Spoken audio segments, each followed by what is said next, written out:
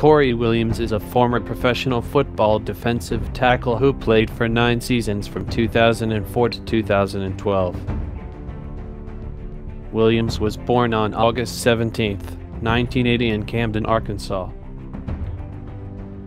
In college, Williams played for the Arkansas State Red Wolves in Jonesboro, Arkansas.